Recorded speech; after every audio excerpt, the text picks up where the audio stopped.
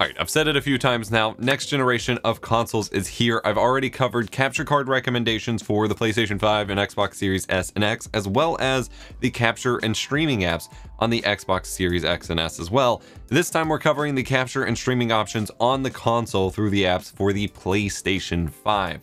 We'll cover a separate video comparing the two systems for streaming as well and a couple other things. Go check out links in the video description for all the other videos related to this subject. Yeah, this one's going to be big. We're going to be talking about the options that the PlayStation 5 gives you for capturing, for recording clips, screenshots, the replay buffer, which is insane on this system, as well as some codec quirks and live streaming to Twitch and YouTube.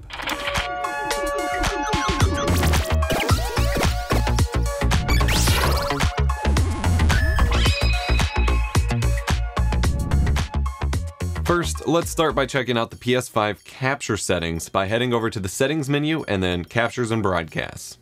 Here under captures, you can customize the create buttons actions. You can't fully control it like you can on the Xbox, but they have three different presets here with a standard preset bringing up the create controls with the single tap and allowing double tap and holding the button to do a screenshot and video actions respectively, and then an easy screenshot and easy video clip modes which allow you to focus on one or the other based on how you want the button to work. You can also change the length of your recent gameplay clip or flashback recording, the same thing as record what just happened on Xbox. However, unlike the Xbox's screen recording, which has a very limited buffer for flashback recording at most three minutes, and that's if you drop your recording down to 720p, the PlayStation 5 can buffer up to an entire hour of gameplay footage, regardless of what resolution you're playing at. And that buffer is always running, identifying when you start and stop games. Even better, the setting of how long that recording duration is simply changes the default behavior of that action. Well, we'll explain more when we get in game. Next, you can change the screenshot format between JPEG, which is default, and PNG. If you just want quick, easy social shares for your screenshots, leaving it on JPEG is fine. But if you want to preserve quality and detail, I'd recommend changing it to PNG, uh, which is more lossless. At 4K, you're looking at a size difference of the JPEG being 0.5 to 2 megabytes for a 4K screenshot versus PNG being 5 to 7 megabytes per screenshot. After that, you can change the video file format for your manual video recordings. By default, this is set to 1080p, which allows you to change between most efficient WebM, which is actually using the VP9 codec, interestingly enough, and most compatible MP4, which uses H.264 or AVC as a codec. 4K can only record to the most efficient VP9 mode, unfortunately. WebM is great for sharing to social media or YouTube or whatever, but H.264 via the MP4 option is most likely to work with your video editing software and the like.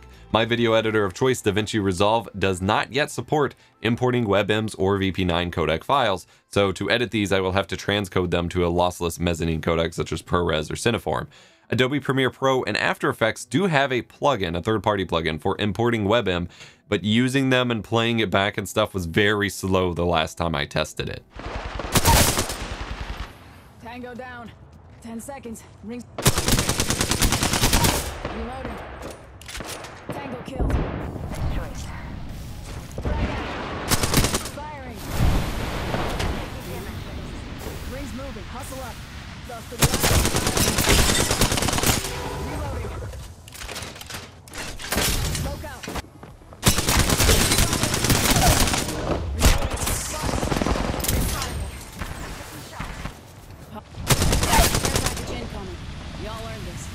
Lost the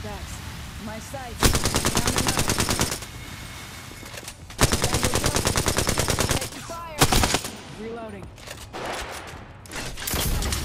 Giving him the chimney. Reloading. Dusted the last one. Get some. Nice work.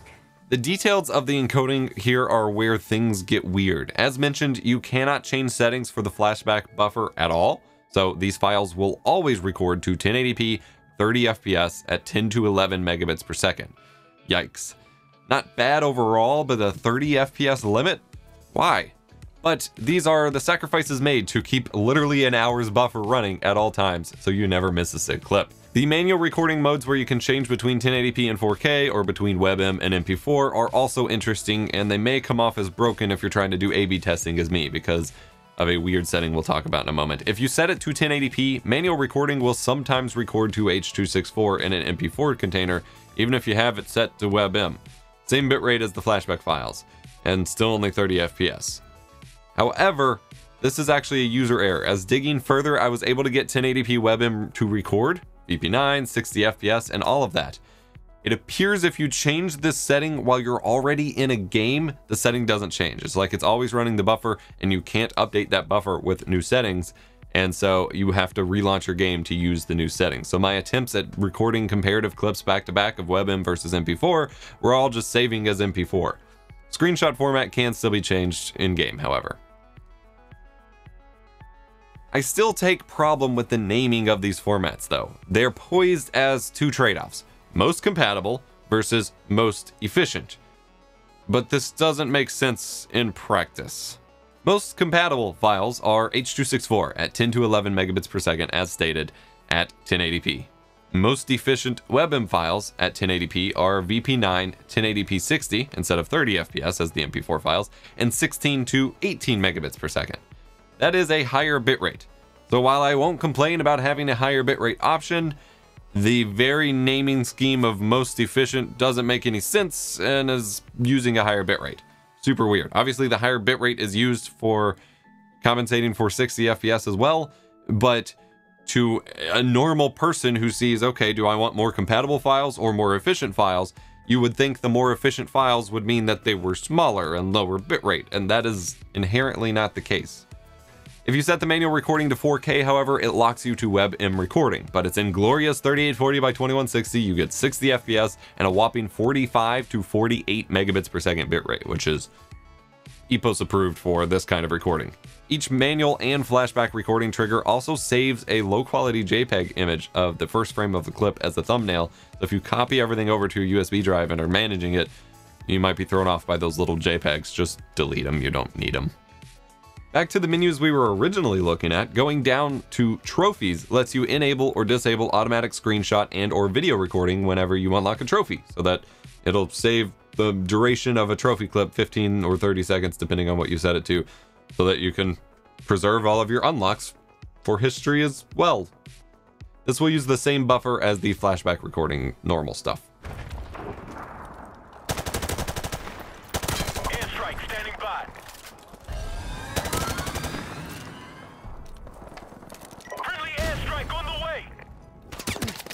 How about accessing the capture tools while in game? The button left of the touchpad, what used to be the select button back in my day, is the share button. This brings up a little bar to record the last clip with full control over duration, take a screenshot, or start manual recording. If you have it set to the default mode that makes that tapping that button open up that menu. You can view the last clip and change capture options here as well. When manually recording, a small timer indicator is shown on your screen, but not in the recording, to show you how long you've recorded. Press the share button again to stop recording. Something to note here is that you can't change the save location of your game footage, but you can copy them to USB drives, just not drives set up as extended storage for PS4 games. But normal flash drives or external hard drives can be plugged in, such as the SanDisk USB-C SSD plugged into the front, and files copied to it. Go to settings, storage, and then select the clips you want to copy, copy to USB. You can do this while also having a USB extended storage drive plugged in for PS4 games as well, which is pretty nice. There's the usual Share Factory Studio app available for free on the PS5 store to edit your videos, which we'll cover in a future episode. There's also a broadcast button on that share bar, and let's talk about that after a word from this video sponsor. This video is sponsored by Nerd or Die's new Showdown stream package. Show your Twitch, YouTube, and Facebook audience the way of the samurai with five color options with an Eastern grunge style. Low frame rate animated scenes and overlay components with customizable widgets will elevate your stream production quality. This one is actually pretty cool and I'm going to be taking a few elements of that to integrate into my stream layouts and video transitions and stuff like that because it's pretty neat. Meets the kind of like uh, Sekiro Shadows Die Twice kind of stream setup and things like that. It's got a lot of cool overlays, uh, alerts. You've got stinger transitions. You've got a full chat layout box that honestly would probably fit a lot of other themes if you were looking for a more unique, you know, chat box as well. And you get full access to the source files if you want to purchase those as well. And this is one of their supercharged themes, meaning it's basically a one-click setup, even in OBS Studio, which is pretty nice. Head on over to eposvox.gg slash nerd or die. Use coupon code eposvox to save 15%. Check them out today. Before we get into broadcasting settings, save yourself some time. Configure camera under accessories and settings so that it can detect your face if you're using the PS5 camera. Set up your accounts under users and accounts to log into Twitch or YouTube for streaming. You can go ahead and log into Twitter and things like that if you want to share out your screenshots and stuff as well. Then go back to captures and broadcast settings to configure your stream. You can choose between 1080p 60, 1080p 30, 720p 60, or 720p 30, but you have no bitrate options. You can't actually set your bitrate. This leads me to believe that it's just dynamically adjusting based on your bandwidth. When I did a 1080p 60 stream, it was using the full 6 megabits per second that Twitch allows, so that's worth considering. You can also choose whether party chat is included in your stream as well. You can toggle the camera overlay with your webcam. You can choose whether it is small, medium, or large. You can add different masks to it. So you can make it a circle, a pentagon, a square, what have you, or you can chroma key out a green screen, which is nice. You can flip it and you can apply various filters, which I really like. I love the scan lines filter and the toy camera filter. You can adjust brightness, contrast, and opacity of the camera so you can make it kind of slightly translucent so your gameplay is still seen behind it and then you can choose to refocus on your face, which I believe uses the dual cameras and kind of reframes based on keeping your your face in the center if the angle is appropriate for it, which is kind of neat. The quality of the camera isn't great though. You also have overlay settings for chat and activity, activity being view counts and things like that, follows I believe as well. Uh, this only shows to you on the screen, but not the stream, which is nice. Previously, all of that stuff fed out to the stream as well. You can change the position of the overlay too, and you can also set up to convert your chat to speech for you to hear in case you don't want to read it. So you can theoretically hide the chat, set up chat to speech, and then it plays back to you without you having to read it, which could be more distracting depending on where your priorities are. When you're in game, there is a broadcast icon on the share menu when you press the share button. Here you can set up all of these settings as well, as well as reposition your camera around the screen to get, you know, where you want it to be. You can choose to stream to YouTube or Twitch. Twitch lets you name your stream, but it does not let you pick your game name, which I found odd and annoying. YouTube, however, lets you give a stream name, a description, tags, and privacy, so you can set it as a private or unlisted stream if you want as well. Have fun streaming. Quality for the stream is pretty good for what it is. It's nothing amazing, but it's a basic, here's 1080p 60 at 6 megabits per second, and it looks okay, which is fine. Uh, I wish you had bitrate options. I guess it just dynamically adjusts based on your internet connection, as I said. Seems a little weird. However, given AMD's encoder issues, I think Sony needs to backport some of this to them because they're not doing a terrible job. Although, like I said, everything about the camera is bad, but that's that's another video, I think. I hope. But overall, that's it. That is the capture and streaming options and apps for the PlayStation 5. What you can do without needing a computer or a capture card or anything like that. You can do all of this straight from the console. So you can share up to social media. You can record, you can edit with the Share Factory Studio, which again we'll be covering in a future video, so get subscribed for that. And you can stream to Twitch or YouTube, which is pretty cool, with a camera and everything. Like, pretty cool stuff, IMO. And so I'm glad I got to check this out, and hopefully there will be future updates to it as well. And we'll cover them when time allows and when that actually happens. Hope you enjoyed the video. Hit the like button if you enjoyed. Subscribe for more tech education and stream guides. I'm your stream professor, Epos Vox, and I'll see you in the next one.